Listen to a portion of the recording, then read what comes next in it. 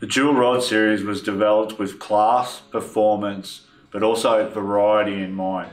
The Australian fishing conditions, there is that many types of different fishing. We wanted to create a rod to cover most bases in the Jewel rod series.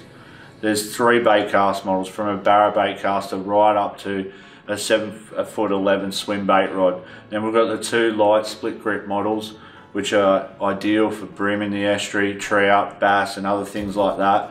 Then we have three seven foot and seven foot two inshore models suited to your snapper, your finger mark, you're throwing at your long tails and things like that in the inshore. And we also have a light jig rod, then a heavier jig rod. There's an overhead uh, jig rod. Then we also have a stick bait and popping rod for GTs, right up to a nine foot six shore spin for fishing for breakwalls, for dews, casting poppers for longtails and kingfish off the rocks and things like that. So that's the variety. But with the variety, we also want a performance. And that's where the technologies we've used in the Jewel rod series come into play. We've used the best quality components in Fuji guides, Fuji K guides, Alconite rings. We've also got Fuji reel seats on all the rods as well. Custom EVA grips on every single rod.